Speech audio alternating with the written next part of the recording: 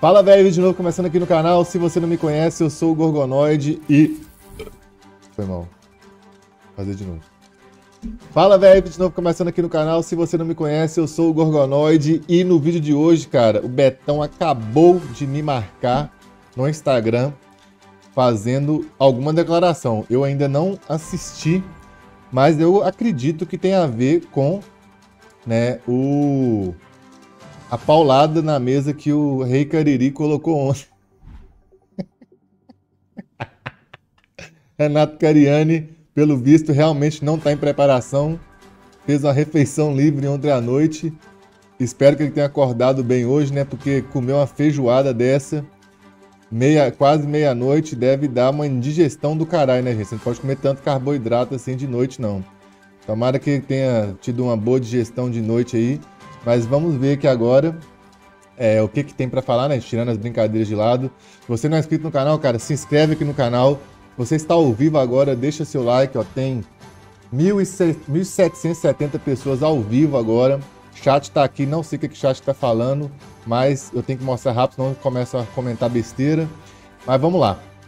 Então, vamos ver o que, que o Betão tem para falar e vamos tirar a musiquinha porque essa musiquinha é só para falar que é o melhor telejornal do Brasil. Então vamos ver o que o Betão tem para falar. Pessoal, tudo bem com vocês? Eu vim aqui no meio de uma emenda de feriado, pleno sabadão, trazer uma informação para vocês, né? Muita gente me mandou mensagem, queria até agradecer muitas pessoas pelo carinho das mensagens, é, a mensagem de conforto que eu recebi, mas eu tenho que me pronunciar, vou ser bem sucinto com vocês.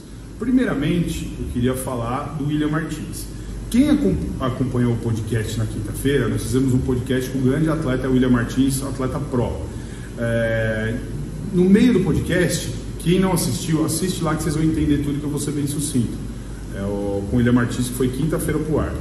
No meio do podcast, o, o William contou um fato dele que aconteceu com ele recentemente, que, que de uma certa forma me chocou, assim, me comoveu e eu me sensibilizei muito que é, é o caso da filha dele. A filha dele ah, teve uns problemas de depressão e até tentou suicídio no eh, depressão e até tentou suicídio no eh, recentemente. E isso me chocou bastante assim, me comoveu bastante porque pessoal eu tenho uma filha, então eu sou um pai de família, eu me coloquei no lugar dele. E assim de forma totalmente natural eu peguei e pedi desculpa para ele eh, no meio, ao vivo porque de alguma forma eu me senti é, responsável por tudo que aconteceu no, nos últimos nas últimas semanas na carreira dele. Mas foi de uma forma sincera, pessoal. Eu não quis cutucar ninguém, não quis falar com, é, de ninguém. Eu até deixei isso bem claro, mas isso me chocou, me comoveu, como eu expliquei para vocês. E William, forças aí, você é um cara super do bem, continue fazendo esse trabalho maravilhoso que você, que você vem fazendo, que você merece tudo que está acontecendo na sua vida agora de coisas boas. Já com relação aos atletas da Suplay, pessoal, foi questionado que eu cortei alguns atletas da Suplay. Não foi, pessoal. Eu vou explicar para vocês bem sucinto, coisas boas. Já com relação aos atletas da Suplay, Pessoal, foi questionado que eu cortei alguns atletas da Suplay. Não foi, pessoal. Eu vou explicar para vocês bem sucinto. Os atletas da Suplay, da Suplay tinham 79 pessoas, que a maioria nem eram atletas. Era uma lista que era indicada por, por um diretor da, da Suplay. Em janeiro, 31 de janeiro, se encerrou esse contrato. Mesmo assim, galera, se vocês não sabem, mesmo assim, eu dei ainda mais dois meses para todos os atletas para eles poderem ir para outras academias e foi conversado isso com o diretor. Por tudo que aconteceu, falou, ó, a parceria que nós tivemos durante todos esses anos, eu falei, ainda eu mantive fevereiro e mantive março. No dia 31 de março, não foi esse atleta específico que foi falado que foi cortado. A lista toda, ela foi deletada dessas 79 pessoas. Imagina, pessoal, 79 pessoas. Então não foi pessoal de uma pessoa, foi um contrato, é uma empresa dessas 79 pessoas. Imagina, pessoal, 79 Repetindo, pessoas. Né? Então não foi pessoal de uma pessoa. Foi um contrato, é uma empresa, pessoal. A Ehrenberg não é uma ONG, é uma empresa que tinha um contrato, esse contrato encerrou. Então não foi de uma pessoa, não tem nada pessoal. É um contrato que não existe mais. Ponto final, pessoal. Então vamos falar sempre a verdade. Agora sim, pessoal, como a gente está no meio do, final de semana, feriadão, estou com a minha família aqui, eu não vou prolongar mais isso, é só para dar um pronunciamento para vocês. Eu já entrei em contato com, com os meus advogados, Eu vou ter reunião essa semana com dois escritórios que me representam e após essa reunião com os meus advogados, eu vou fazer um pronunciamento oficial de tudo que, que foi falado, de tudo que foi falado.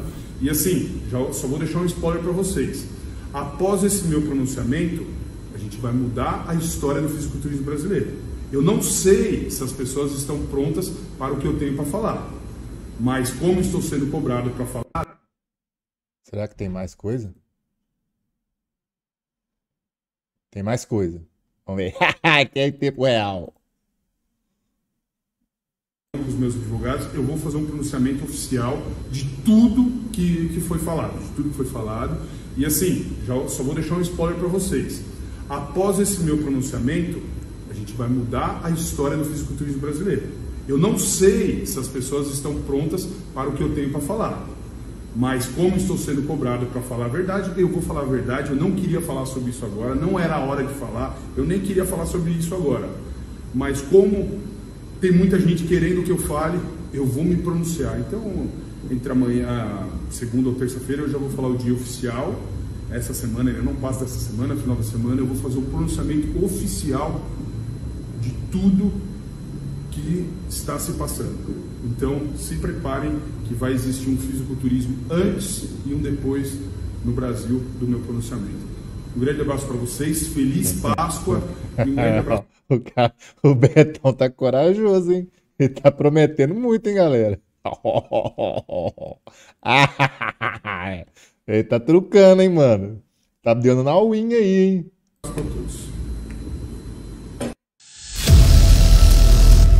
Ah. Acabou. Deixa eu ver se tem mais. Deve ter não. Aí, foi só isso mesmo. Então, galera, eu tô com uma sensação, só uma sensação, tá? É, que não vai ter nada, tá ligado? Ele vai fazer igual o Cariani. O Cariani tá assim, pronunciamento da Max. Lembra lá de Ohio? não sei o que, vai ter o um pronunciamento que tal, e o hype danado, aí o Cariani me lança, mano, uma pasta de amendoim, mano.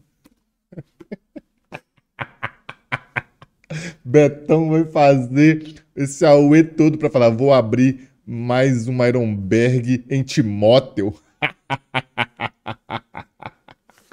Mas enfim, vamos esperar para ver aí. Mas completando o tema do vídeo aqui, quem apareceu para falar também, né, foi a esposa do do, do, do William Martins, né? A Laura. Então vamos ver o que ela falou aqui.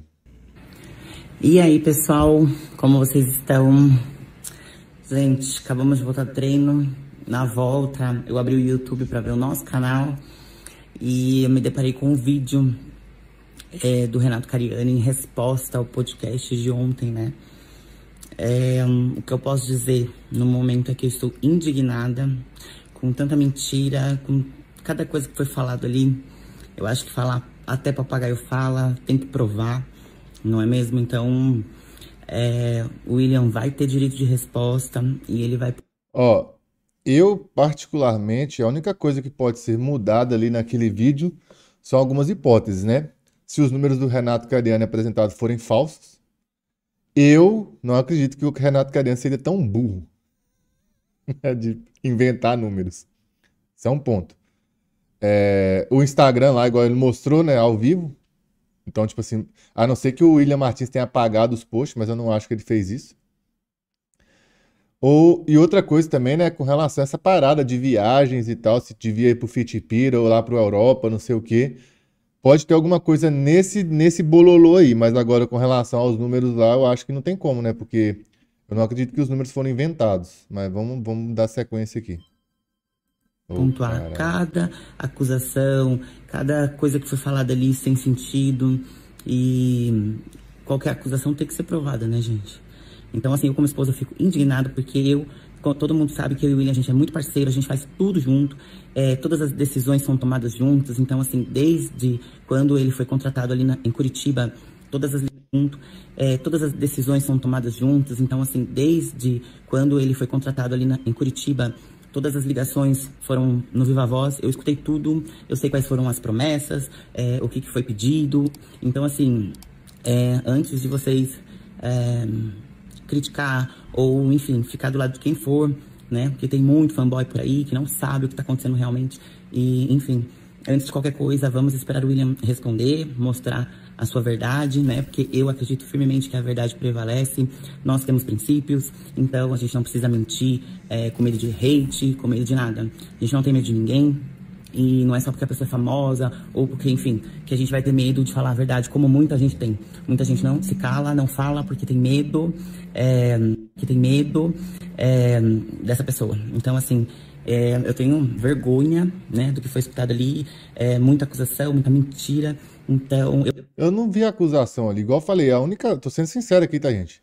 A única parte que eu vi ali que pode ser refutado, digamos assim, é com a parte das conversas com relação a campeonatos. Se deveria ir ou não no Fitpira, essas coisas assim. Mas eu acho que no restante do vídeo, eu acho que foi mostrando números, né? Então, eu não consigo ver. Pessoal, igual falei, a não ser que tenha números adulterados ali, tá ligado? Mas a meu ver, eu acho difícil essa parte. Igual a parte que pode ter alteração é nessa parte sobre campeonatos, de coach, sei lá, alguma coisa assim. Eu acompanhei tudo, gente, então eu posso falar pra vocês. É muita mentira, muita maldade. Então a pessoa tem que ser muito maldosa para falar tudo aquilo, é, sem pensar nas consequências, no que pode acontecer com isso. Então, é, a gente vai, o William vai ter direito de resposta e ele vai provar, né? Porque falar ali, criar, inventar é uma coisa, mas a gente vai ter que provar através de print de conversa, de áudios, enfim, de gravações.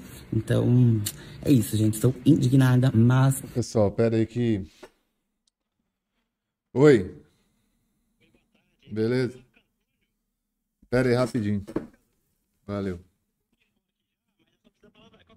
Marco Antônio. Ah, eu vou falar a palavra. Vou falar a palavra-chave. Pera aí. Palavra-chave, você explica. Pera aí. É... A palavra-chave. Sim. Pera aí. Que vai chegar. Ah, tá. Solar. S-O-L-O. É solar. Deixa eu ver aqui. Isso aí. É isso aí, um certinho. Então tá com a beleza? Valeu, obrigado. Obrigado, você. Valeu. Falou. Pessoal, já estava ficando puto aqui porque ninguém atendia o interfone, mas. Enfim. É, Voltando para o assunto do vídeo aqui. é, Basicamente é isso. É, Vamos esperar então. Lembrando que o William Martins aí tem espaço que ele quiser aqui no meu canal, se ele quiser, tá? para mostrar a versão dele do que for. Igual eu falo, eu sempre gosto de ouvir todos os lados. E todo mundo tem direito de falar, né? Desde que não façam. Ah, sei lá, né? A pessoa tem direito de falar, igual mostrar o lado dele, mostrar o que tiver para mostrar. E é isso. Espero que vocês tenham gostado desse vídeo. Espero que vocês tenham gostado. Se você quer ver né, o pronunciamento do Renato Cariani, vai estar aparecendo na tela aí para você. Tá? É claro que se você está ao vivo, você não está vendo, mas se você está assistindo depois, você está vendo. E tem um vídeo recomendado aqui para você também. Se inscreve no canal.